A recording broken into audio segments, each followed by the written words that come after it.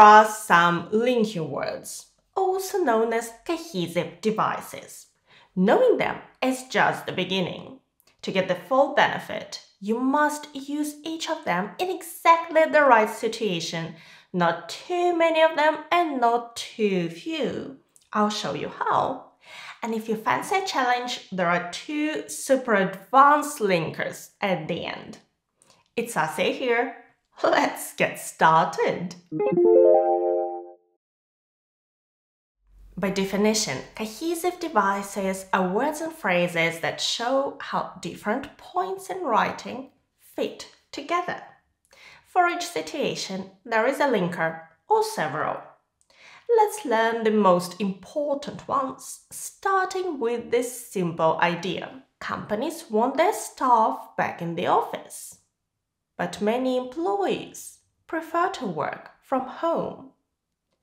There is a contrast between what companies want and what their employees want. But is an okay way to show this contrast. Although in IELTS writing, there are some better ways. And the first of them is although. Although companies are encouraging their staff members to return to the office full time, many employees would prefer to work from home. Uh, let's take another simple example. Although it was well made, the film was not a commercial success. Have you noticed the comma between the two clauses? examiners do check if you punctuate correctly as part of your grammar score. So pay attention to your commas. In IELTS essays, we talk about contrasts a lot. So there is a great alternative to although. However, it's used in similar situations, but it's different. How different? It's a question of grammar. Look at this example. Some people enjoy working from home. However, others prefer the structured environment and social interaction provided in an office setting. We have two sentences linked together. When we use although, we have one complex sentence like this. So do you see the difference? however, is what is known as a conjunctive adverb. It means it comes at the beginning of a main clause. If you fancy a piece of more advanced grammar, you could still merge both sentences with however into one. All you need is one small but very important punctuation mark. Some people enjoy working from home, semicolon. However, for others, and so on. So we put a semicolon before, however, and a comma after. The examiner will always check that you haven't forgotten that all important semicolon. Another conjunctive adverb we can use is nevertheless. It works just like however. Some people enjoy working from home, semicolon. Nevertheless, comma. For those seeking professional growth and networking opportunities, the office environment may offer more avenues for advancement. Try to use a variety of linking words in your essay instead of repeating one several times. Once you use however, then although, the next time you may wish to use a simple but. Next, we're always looking to explain something, answering the question why. And probably the most effective linker here is because. Because fewer people are going to the office. Companies need less space. We could put this information the other way around. Companies need less office space because many people are working from home. Have you noticed that in the first sentence we have a comma and in the second, we don't.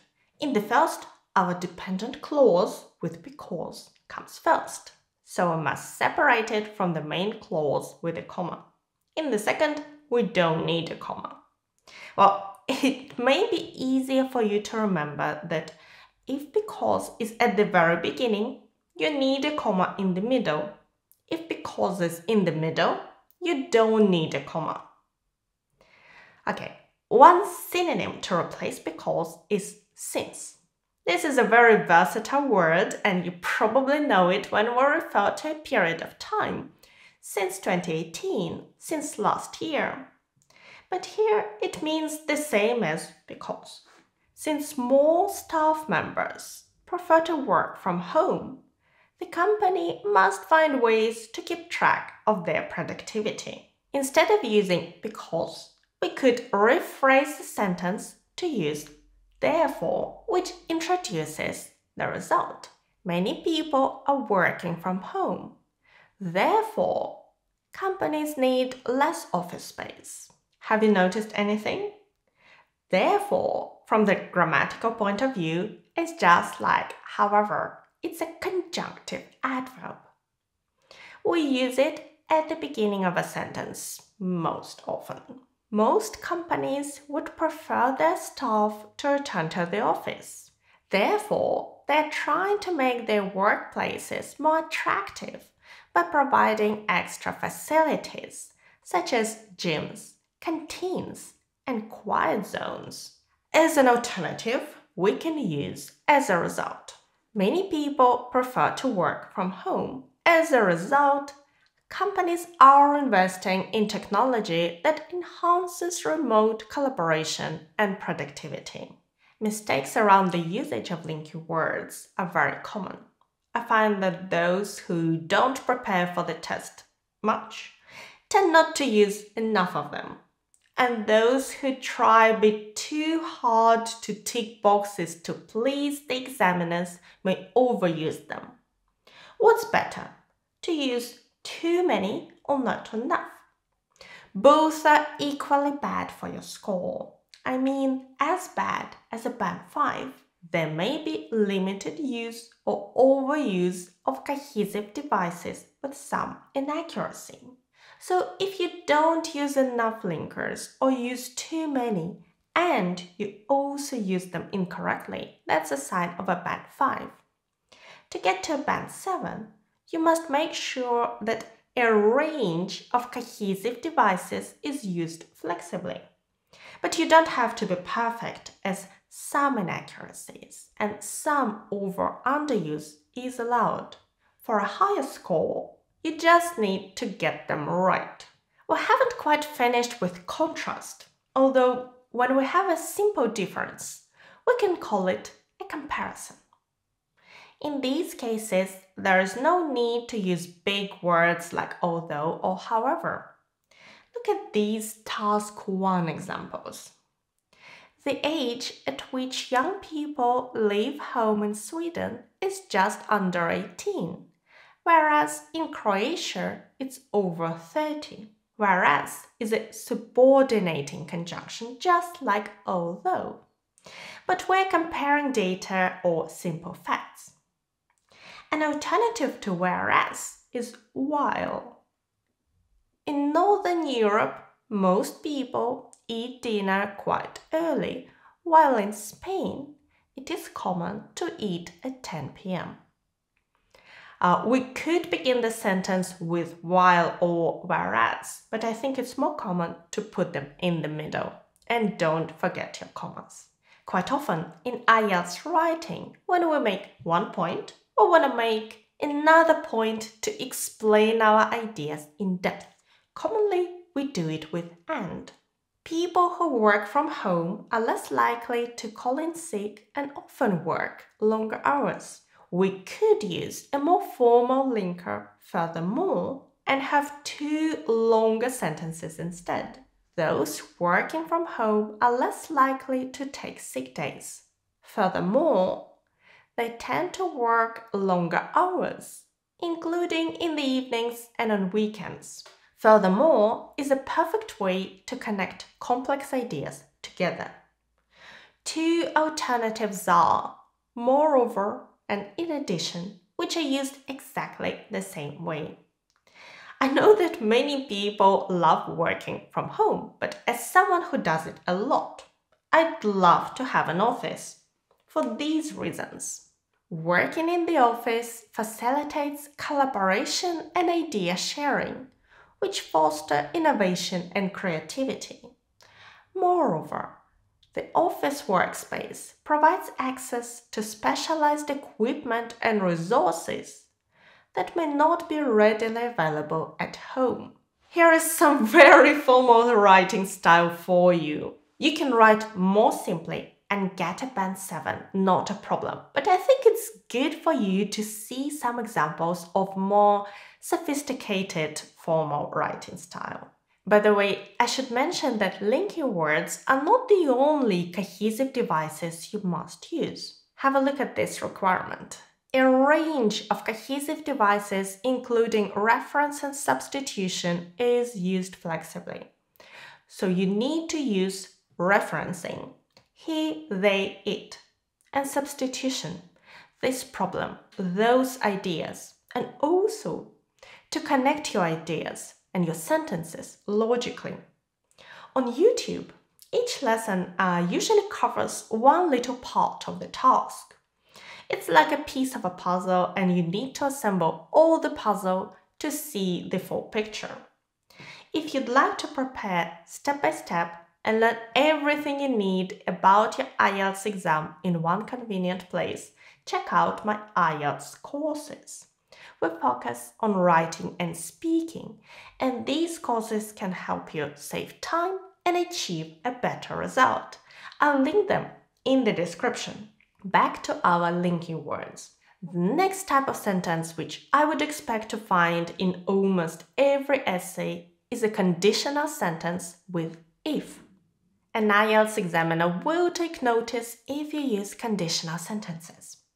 For example, if employees are allowed to work from home, they will be more productive and feel less stressed. This is a classic conditional sentence where the verb in the if clause is in the present tense are allowed and the verb in the main clause is in the future tense will be we can also make the verb negative.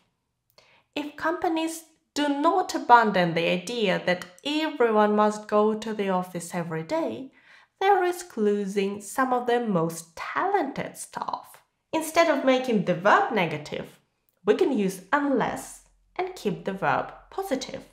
And if you handle that well in your writing, the examiner will be very impressed unless companies abandon the idea that everyone must go to the office every day, they risk losing some of their staff. Okay, the next bit may look easy, but be careful how you do it. You're asked in task 2 to give examples from your own experience and knowledge where appropriate. Let's look again at this example from earlier on. Companies are trying to make their workplace more attractive by providing extra facilities, such as gyms, canteens, and quiet zones. We're simply listing examples, and in this case, we need a comma before such as.